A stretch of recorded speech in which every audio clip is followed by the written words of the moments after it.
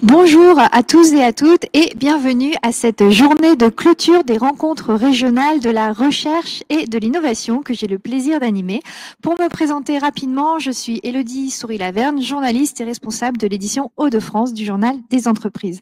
Alors, ces rencontres régionales de la recherche et de l'innovation ont démarré, je le rappelle, le 23 novembre et elles sont devenues au fil des années un événement incontournable pour tous ceux qui veulent entreprendre et innover dans les Hauts-de-France. Alors cette année, en raison d'un contexte particulier, l'accent est mis sur la manière dont il est possible de rebondir pour les entreprises par l'innovation et la collaboration. Au programme de cette journée de clôture, de nombreuses interventions d'experts issus du monde académique et du monde de l'entreprise et des éclairages supplémentaires qui seront apportés par les parrains, les ambassadeurs de cette journée. Patrice Penel, le président du MEDEF Hauts-de-France, dirigeant du groupe industriel REG, et la marraine de cette soirée, Corinne Molina, vice-présidente du groupe Madère. Alors, pour vous donner très rapidement les grands temps de cette journée de clôture, il y a eu une première partie qui s'est tenue de 13h30 à 17h sous forme de trois tables rondes organisées successivement par INRIA, la Nord et la Mèche. Et nous démarrons ce deuxième temps, là, maintenant, qui qui est consacré à la remise des trophées Force Awards Hauts-de-France, des trophées qui récompensent les collaborations réussies dans la région entre le monde académique et le monde de l'entreprise. Donc, crise sanitaire oblige. Ces différents événements se tiennent cette année sous format digital et ils seront disponibles en replay.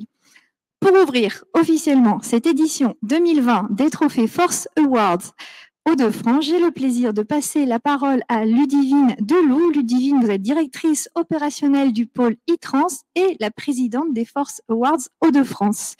Alors, euh, Ludivine, bonsoir. Alors dites-moi, vous êtes le, pilote des clôtures euh, de cette journée de clôture des rencontres régionales de l'innovation et de la recherche. Vous êtes l'organisatrice de cette soirée et aussi des trophées. Euh, dites-moi cette édition, comment vous pouvez nous la présenter cette nouvelle édition des trophées en quelques mots? Euh, bonsoir Elodie, bonsoir à, toutes et tous. Euh, ravi que débute cette sixième édition. Alors comme les précédentes, la vocation des Force Awards est de mettre euh, sous les feux des projecteurs les collaborations entre les entreprises et les, académiques.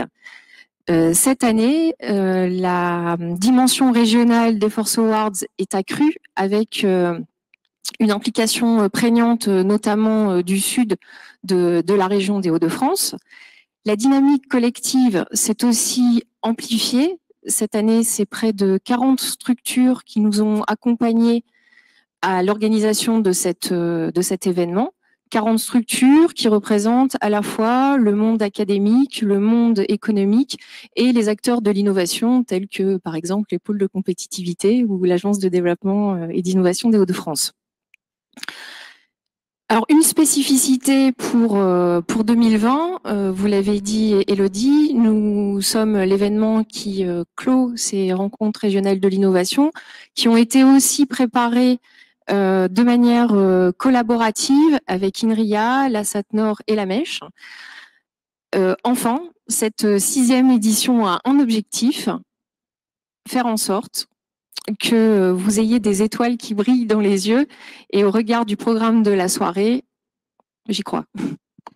Merci euh, Ludivine Deloup pour cet éclairage. Alors on en a dit un mot euh, en introduction. Cette journée de clôture comporte un ambassadeur et une marraine, tous les deux issus du monde économique. Je vais les inviter à me rejoindre sur cette scène, sur ce plateau. Il s'agit de Patrice Penel, le président du MEDEF Hauts-de-France, et de Corinne Molina, dirigeante du groupe Madère. Je vous laisse vous installer. Alors bonjour euh, à, tous les deux. Merci euh, pour votre présence euh, ce soir. Donc Patrice Penel, président du MEDEF Hauts-de-France, dirigeant du groupe industriel REG. Alors vous avez déjà participé, Patrice Penel, à ces trophées en 2019. Pourquoi est-ce que c'était important pour vous d'être l'ambassadeur de cette année?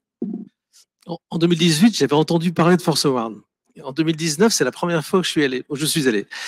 Et, et, franchement, j'ai trouvé ça extraordinaire. J'ai trouvé que d'abord, c'est une, une Force Ward est une association qui est animée par des bénévoles. et, franchement, euh, Ludivine, elle fait un, travail extraordinaire avec son équipe. Vraiment bravo. Et, dans cette salle, il y avait des, des chercheurs. Il n'y avait pas beaucoup d'industriels ou d'entrepreneurs. Or, un, ça n'a de sens ce genre de, de, ce, ce, type d'organisation que si ça, l'objectif de rapprocher le monde de l'entreprise du monde de, de académique ou du monde de la recherche est atteint. Donc il faut absolument que Forcement soit davantage connu, diffusé euh, au niveau des, entreprises. Et j'ai pensé que, étant euh, président du MEDEF de France, j'avais peut-être une contribution à apporter pour faire en sorte que ça, fonctionne encore mieux que ça ne fonctionne aujourd'hui, avec une, une, un engagement des entrepreneurs plus grand que ce qui pouvait être précédemment. Voilà, c'est l'objectif qu'on se fixe. Alors c'est un travail de longue haleine, euh, on, verra une année à la fois. Mais vraiment, vraiment, quand on y vient, on se dit, mais c'est formidable cette occasion que nous avons de découvrir et de connaître les, centres de recherche de la région et la manière dont on peut travailler avec eux. Et en tant que président du MEDEF Hauts-de-France, vous avez fait de l'innovation une de vos priorités. Pourquoi et comment ça se traduit? Donc moi, je suis mon, groupe, c'est un groupe industriel, on est dans l'industrie, et j'ai toujours, euh, dans ma carrière, j'ai toujours pensé que c'était en innovant qu'on se défendait, qu'on était davantage euh, compétitif. Euh, je, pense que la région, elle a aujourd'hui, on va dire, un, certain retard en termes d'innovation. On est, quand même, on s'appuie beaucoup sur d'abord beaucoup de services, c'est tant mieux. Les bâtiments, on a toutes les branches qui sont mises au présent, et l'industrie est notoirement sous-représentée dans l'économie régionale. Et malheureusement, elle est en plus représentée avec des, un tissu d'industrie, d'industriels, qui sont pas, pas, on va dire pas tout, tout à fait à la pointe. En tout cas, il y en a beaucoup qui ne sont pas tout à fait à la pointe. Euh, ça, c'est l'histoire de la région qui veut ça. C'est qu'on on a été une région industriellement extrêmement puissante et on ne peut pas être frappé par le fait que, alors que le nombre de, de, salariés dans l'industrie reste à peu près stable en France depuis 10 ans, en région de France, il a baissé de 25%. Euh, c'est un signe qu'on on a beaucoup de, de, de chemin à, à, parcourir et du, du retard qu'il faut absolument combler. Merci Patrice Penel, vous êtes, je le rappelle, l'ambassadeur de cette journée de, clôture et vous, Corinne Molina, vous êtes la marraine de, cette journée. Alors bonjour. Bonjour. Alors qu'est-ce que ça représente pour vous d'être euh, la marraine de, cette journée, de ces trophées? Alors pour moi, c'est une première. J'étais un peu étonnée qu'on s'adresse à moi, euh, qui ne suis euh, pas chercheuse, pas docteur, pas ingénieur. Et en même temps, j'ai répondu à cette proposition euh, parce que, comme Patrice, euh, je pense que l'innovation est essentielle pour nos entreprises. Alors, euh, je suis là pour représenter MEDER, mais aussi les entreprises industrielles. Et en fait, c'est encore plus important cette année avec la crise du Covid. Donc, je trouve que cet événement a encore plus de sens puisqu'on est en train de traverser un nuage, hein, donc un gros nuage, mais à la sortie du nuage, et même déjà dans le nuage, il est important qu'on puisse proposer à nos clients des solutions différentes. Ce qui est important, c'est la différence et de se dire quand on arrive chez un client, et ça c'est quelque chose que je, je, pratique plus souvent, il est important de pouvoir se démarquer, d'offrir un, un, avantage, parce que sinon on ne bataille que par le prix. Et si on bataille par le prix, on, a, on trouve toujours plus gros que soi ou toujours euh, quelqu'un, une entreprise qui va casser le prix. Donc il faut se dire qu'on est en avance. Et euh, aujourd'hui, plus que jamais, il faut anticiper, garder le cap. Et euh, en préparant, enfin en réfléchissant à ce soir, je pensais à des échanges que j'ai avec des pays à enfin des, des, pays étrangers, des clients étrangers, parce qu'on est très présent à l'international. Ils ont cette force qu'on n'a plus forcément en France, c'est de regarder loin, d'avoir un cap, de préparer à 5 ans, à 6 ans, parce que la recherche, ça peut être long. Ça peut être, on peut avoir un coup de génie, mais ça peut être long. Et donc, il faut qu'on garde ce cap et surtout dans la région, parce que comme Patrick, euh, Patrice le disait, on n'est pas forcément euh, pionnier dans la relation euh, lien recherche entreprise. Il faut qu'on qu'on aille plus loin, plus fort, et surtout qu'on casse les murs et qu'on apprenne à se connaître. Euh, il y a dans la salle euh, Sam, d'Amani, de French Tech. On a tellement de choses à faire ensemble euh, au niveau du digital dans l'entreprise. On a tellement de choses à faire avec l'INRIA. On a tellement de choses avec le à faire avec le CNRS. Et il faut surtout qu'on apprenne à se connaître parce qu'on a plein de belles choses dans la région qu'on sous-exploite. Et euh, c'est pour les entreprises que je représente, euh, Schwab, euh, Société industrielle MEDER, je trouve que c'est important qu'on aille puiser dans des ressources qu'on a à côté de chez nous. Alors, vous en avez un peu parlé, l'innovation en temps normal, en dehors de, cette crise, c'est déjà un levier important euh, pour, pour les entreprises, un levier de développement. On en a parlé aussi au cours d'une table ronde avec euh, Patrice Penel tout à l'heure. Est-ce que la, crise, pour vous, ça accélère ce, phénomène? Est-ce que vous, vous constatez, euh, pour les dirigeants qui vous entourent, est-ce que vous-même, vous avez dans votre groupe, groupe MEDER, vous avez accéléré l'innovation ou l'envie d'accélérer pour résoudre des problématiques d'actualité? Alors, de mon point de vue, la crise, euh, c'est comme, euh, c'est un peu de la chimie, c'est un peu comme un révélateur euh, qu'on utilise quand on fait, on développe des photos. C'est-à-dire qu'il y a des choses, on les voyait pas trop, et la crise, d'un seul coup, ça devient évident, ça révèle. Et donc, sur l'innovation, il y en avait, enfin, chez MEDER, on fait de l'innovation et c'est ça qui nous a permis de nous développer. Mais ce qu'on a décidé dans les derniers mois, c'est d'accélérer, de renforcer cet effort parce que en sortie de crise et même déjà aujourd'hui, si on veut être plus fort face à des concurrents qui ont encore plus faim parce que les marchés vont quand même euh, décroître parce que l'économie risque de pas être des plus florissantes dans quelques mois, il va falloir qu'on se batte avec des nouvelles armes. Donc, comme, euh, comme vous le dites, euh, ça révèle et on doit accélérer.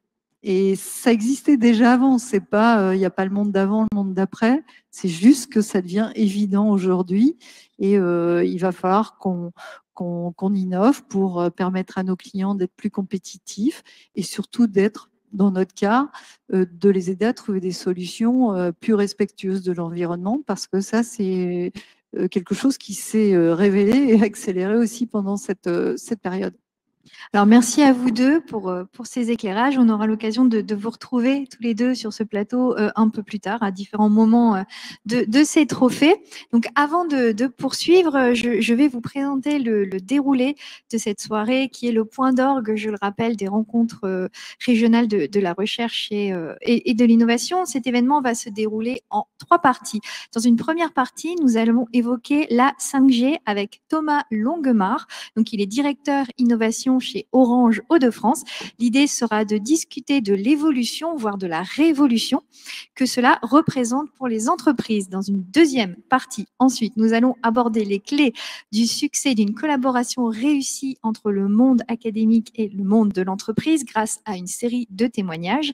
Et la troisième et dernière partie de ces trophées sera dédiée à la R&D en tant que levier à actionner pour les entreprises pour rebondir. Donc ces trois parties vont être ponctué par des vidéos de présentation des six nominés au trophée Force Awards, avant bien sûr une remise des prix qui aura lieu en fin de soirée.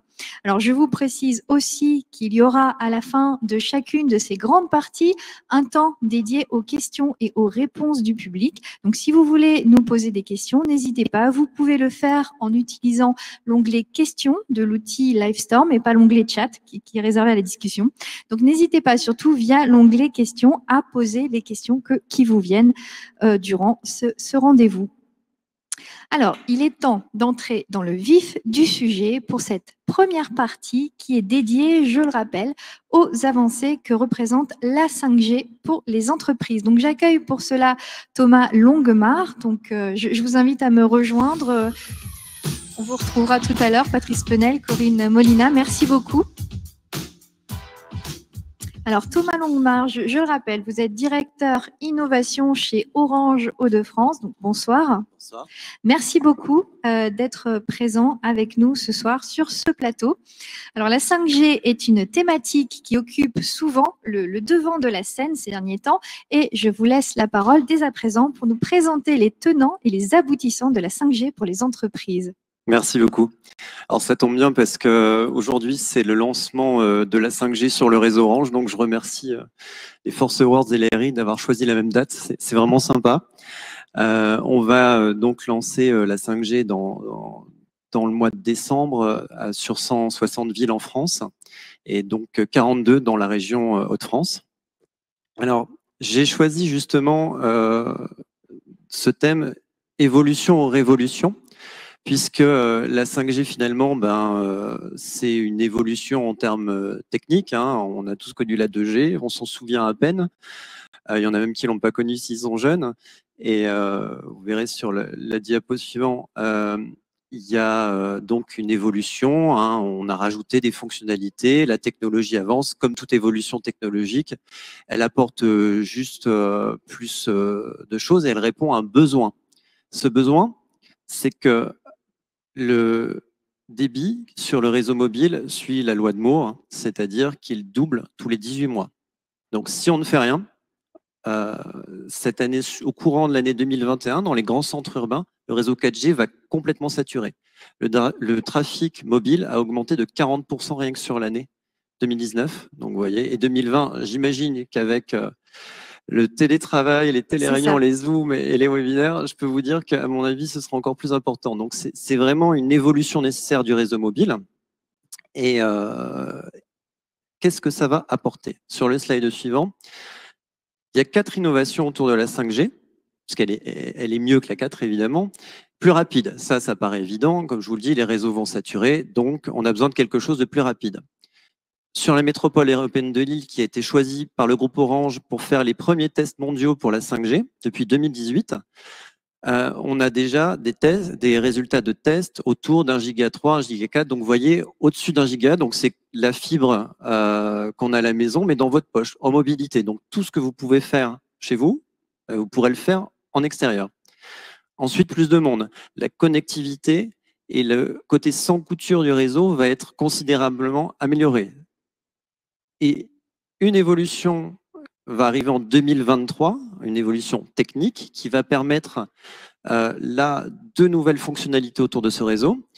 C'est plus d'objets connectés, donc euh, ce qu'on appelle en, bon français Massive IoT, euh, c'est-à-dire qu'on va pouvoir connecter énormément d'objets. On, parle de 100 000 objets au kilomètre carré, donc on va pouvoir vraiment faire un bond en avant technologique en ville pour la Smart City, la ville intelligente avec tous ces capteurs qui permettront de mieux utiliser, mieux se déplacer, mieux vivre la ville, mais également en ruralité, puisque la 5G n'est pas que une technologie euh, utile pour les grands centres urbains, mais en ruralité, par exemple, l'agriculture connectée euh, ou l'agriculture de précision avec une bardée de capteurs pour adapter la consommation d'eau, la consommation d'engrais ou de pesticides euh, sur les différentes parcelles.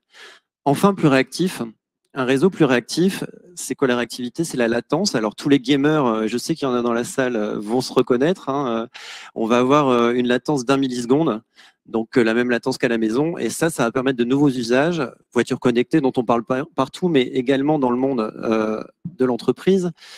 Voitures, des navettes ou des trains qui vont être autonomes en site privé, en site industriel, en logistique, qui vont pouvoir être connectés partout et augmenter euh, l'optimisation de, tout ça. En termes d'usage, il y en a beaucoup sur le dernier slide. Euh, j'en ai choisi que, deux. Euh, le premier, c'est le drone qu'on va pouvoir piloter à distance. Actuellement, il faut qu'on la réglementation oblige qu'on ait un, drone en face de soi pour le piloter. Demain, on pourra le piloter un peu n'importe où. Et donc, les cas d'usage, il y en a un qu'on a testé euh, sur la métropole de Lille avec un grand groupe, qui est euh, la reconnaissance euh, des ouvrages d'assainissement et des canalisations. Ça permet en termes de sécurité pour l'intervenant, bah, il, pilote à distance. Hein. il n'a pas besoin, on n'a pas besoin de nacelle, de travailler en hauteur. On peut inspecter des coins qu'on ne peut pas inspecter et coupler avec une image en très haute résolution 4K, 8K demain et de l'intelligence artificielle, on va pouvoir repérer une micro-fissure qu'un œil humain ne verrait pas. Un autre usage du drone euh, piloté, euh, évidemment, c'est dans les opérations de, sécurité ou de tranquillité publique, évidemment, avec euh, les forces de l'ordre qui sont en train également de tester cette technologie dans les Hauts-de-France. Et enfin, on peut penser dans les catastrophes naturelles et technologiques, où le drone peut aller très vite c'est testé donc par les pompiers à Monaco, euh, d'aller très vite sur le lieu de l'accident euh, ou le lieu d'un incendie et par exemple donner aux intervenants le meilleur endroit pour accéder et voir l'état réel en temps réel euh, de l'incendie, par exemple dans le cas des pompiers. En conclusion, s'il n'y a, qu'une chose à, retenir, en tout cas, j'espère que vous serez reparti avec ça, c'est que la 5G, bah, c'est une évolution, effectivement, euh, en termes techniques et technologiques, mais c'est une révolution en termes d'usage. Et euh, ce sera, je pense, un élément clé incontournable dans la transformation numérique des territoires, des entreprises et dans leur compétitivité.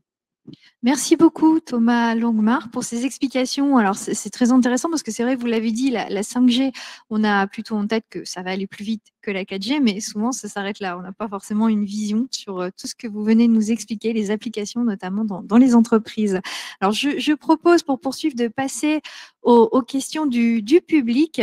Euh, voilà, je, rappelle que vous pouvez poser vos questions via l'onglet questions si vous ne l'avez pas encore fait et euh, j'ai une première question pour vous, Thomas Longmar. Donc, Martine Aubry demande si la 5G est la fin de nos libertés. Ça, je pense que c'est un peu une joke en tout cas. Euh, il y a un choix politique très clair qui a été affirmé et Orange donc a, respecté ce choix qui a été fait. donc la 5G qui était autorisée sur l'île à titre expérimental ne sera pas disponible de façon commerciale, malheureusement. D'accord. Et vous, alors je ne sais pas s'il y a d'autres questions, pas pour le moment. Vous avez parlé tout à l'heure du déploiement euh, de la 5G dans les Hauts-de-France. Alors on a parlé de, l'échéance à la, fin de l'année. Et ça va aller jusqu'où? Quel rythme pour 2021 alors déjà à mi-décembre, on couvre euh, donc hormis euh, quelques cas particuliers, donc les villes euh, qui ne souhaitent pas son déploiement, déjà une petite partie de, la métropole de Lille à, mi-décembre, et puis après sur aux alentours de Lens-Douai. Donc je disais ça va aller, ça va aller vite. C'est pas qu'un truc de métropolitain.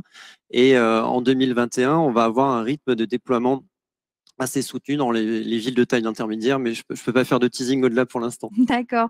On a une autre question. Alors, je ne sais pas si c'est pour la 5G spécifiquement. L'innovation est-elle synonyme de l'adaptabilité? Alors, dans le cas de la, 5G, euh, je pense que vous y avez un peu répondu. On peut dire que oui.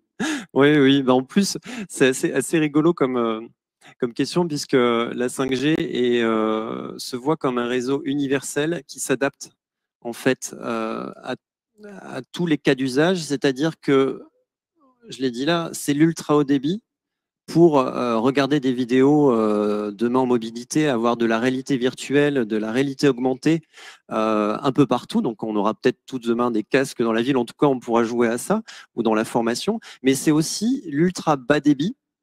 Et donc, par exemple, pour les objets connectés, puisqu'il faut utiliser la juste énergie euh, pour euh, transmettre l'information et rien, rien ne sert d'ouvrir une autoroute pour euh, faire fonctionner un cheval. Donc, et là, c'est la même chose en fait. autant la 4G avait été vue comme un réseau très haut débit, autant la 5G sera le réseau qui s'adapte en permanence aux besoins. Donc, une meilleure adaptabilité, comme, comme la question le, le voulait. Alors, 5G, peut-on craindre pour notre santé? Alors ça, c'est vrai que c'est une, question euh, qui nous revient souvent.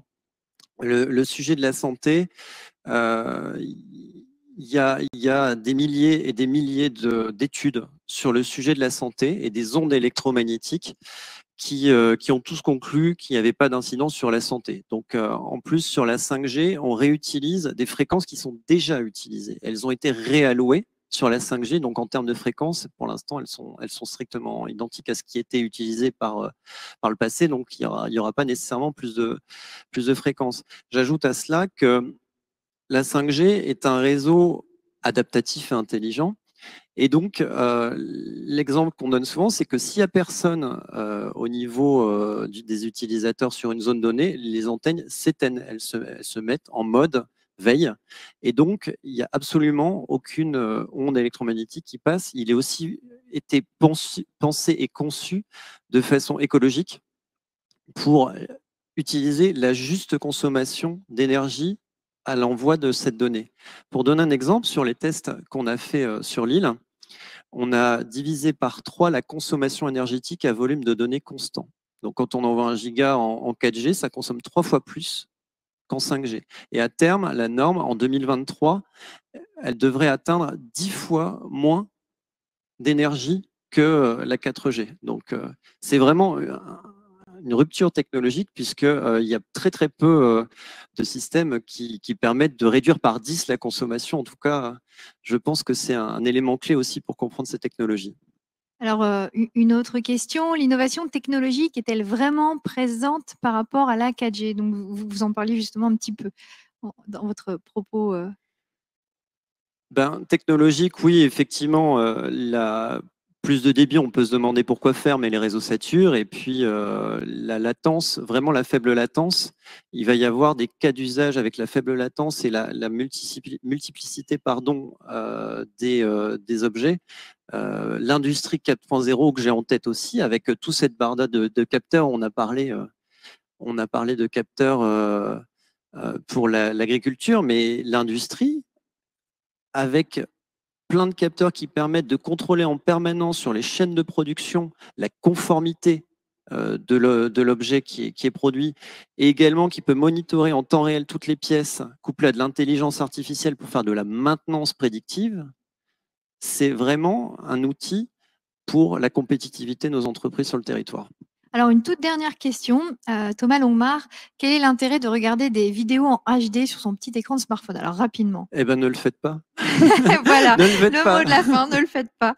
En tout cas, merci beaucoup, Thomas Longmar, pour, euh, pour cet éclairage. Je pense que vous avez brisé ce soir beaucoup d'idées reçues euh, sur, sur la 5G et je vous remercie pour ces explications. Merci beaucoup. Alors, on en a dit un, mot tout à l'heure. Cette soirée est celle des Trophées Force Awards Hauts-de-France. Pour vous en dire davantage, on va vous dévoiler, donc Ludivine Delou va me rejoindre pour, euh, pour vous dévoiler l'identité des premiers nominés. Je vous passe la parole, Ludivine. Donc, euh, avant de, vous dévoiler les, premiers nominés, quand même quelques mots sur euh, le concours Force Awards. En fait, les concours c'est trois concours qui, reflètent le transfert de la recherche vers les entreprises. Cette année, c'est 30 candidatures qui ont été analysées par un, jury de choc qui a été présidé et qui est présidé par Mathias, Povs, qui euh, vous en dira plus euh, tout à l'heure au moment de la remise des prix. C'est euh, six nominés que vous allez découvrir tout au, tout au long du fil de, cette soirée. C'est 20 000 euros donc, euh, c'est la, spécificité de, notre concours. 20 000 euros qui sont remis en, cash euh, aux lauréats. C'est le seul en France euh, de, cette ampleur-là. Et c'est cinq prix. Donc, 3 000 euros pour le lauréat de, DocForce, 3 000 euros pour le, le, lauréat de Force Partners, 3 000 euros pour le lauréat Force Startup, et c'est pas tout, il y a 10 000 euros qui est remis à l'un des trois par euh, qui est le prix du jury. Et euh, la nouveauté 2020, c'est le prix euh, coup de cœur du public. vous pourrez voter d'ailleurs, c'est votre prix. vous aurez le choix entre 12 candidatures et tout à l'heure, on lancera les votes. On lancera ça tout à l'heure. Alors, le premier nominé pour Force Startup, c'est Emerion Therapeutics, que vous allez découvrir en vidéo.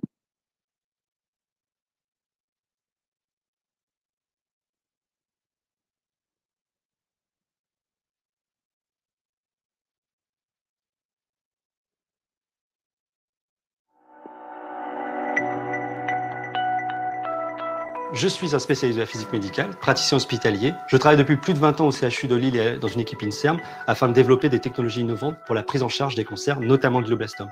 Et dans ce contexte, nous créons Emerion pour justement diffuser ces nouvelles technologies auprès des patients.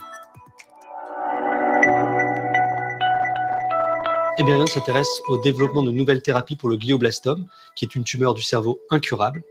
En Europe, aux États-Unis, plus de 25 000 personnes par an sont atteintes de ce cancer et décèdent dans les 200 dans la plupart des cas. Depuis plus de 15 ans, la prise en charge n'a pas évolué et aujourd'hui, Emerion collabore avec des neurochirurgiens, des physiciens, des chercheurs pour mettre en place des nouvelles solutions susceptibles de prolonger significativement la survie de ces patients. Dans le cas du glioblastome, la dissémination des cellules cancéreuses empêche leur traitement par les techniques conventionnelles. Notre innovation s'appuie sur un photosensibilisateur et une lumière laser qui va permettre une destruction sélective de cette cellule tumorale dans les endroits les plus reculés du cerveau. Aujourd'hui, les premiers essais cliniques ont eu un effet spectaculaire et un retentissement international. Notre technologie s'intègre parfaitement aux techniques chirurgicales actuelles et peut ainsi bénéficier rapidement à plus de 20 000 patients par an. Le soutien des investisseurs nous permettra de franchir les étapes cliniques et réglementaires nécessaires à la mise sur le marché d'un dispositif certifié. Nous travaillons également à des axes d'amélioration de ce dispositif, à savoir un laser plus efficace, une meilleure utilisabilité au bloc opératoire afin d'avoir une meilleure adhésion des neurochirurgiens. L'objectif, c'est d'en faire bénéficier le maximum de patients rapidement.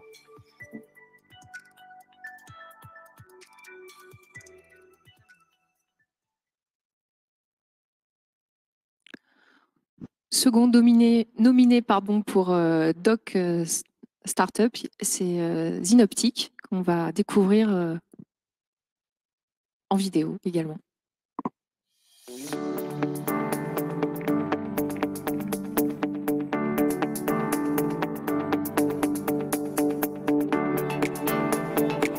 Qu'est-ce que les biocarburants, la nourriture pour poulet et la vanilline ont en commun?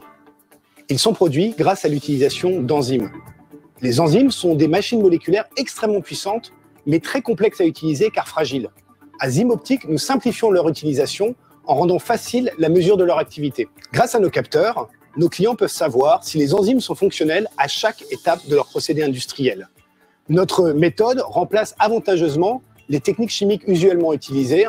Plus besoin de filtration, plus besoin de mélanger des réactifs chimiques, il suffit de mettre la solution dans notre capteur pour obtenir une mesure de l'activité. Zymoptic est issu de la recherche publique et entretient des liens forts avec l'université et le CNRS en étant basé dans le laboratoire IEMN et en finançant une thèse avec celui-ci.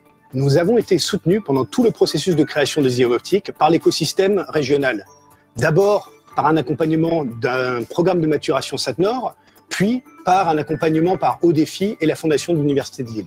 Nous sommes pleinement ancrés sur notre territoire où nous y créons de l'emploi à tous les niveaux de formation, de nos stagiaires techniciens issus de notre IUT jusqu'aux jeunes docteurs. Nous avons aujourd'hui neuf employés et nous sommes fiers de créer une entreprise industrielle basée dans les Hauts-de-France et qui a vocation à s'y développer. Zymoptic est la preuve que soutenir la recherche en micro-nanotechnologie, un domaine associé avec les microprocesseurs, l'électronique, est un pari gagnant pour soutenir les entreprises fleurons industrielles de notre région, actives dans le domaine de l'agro, de l'agri ou de la conversion de la biomasse. En utilisant la technologie Zymoptique, celles-ci peuvent gagner en compétitivité et poursuivre leur montée en gamme afin de pérenniser ces secteurs sur le territoire régional.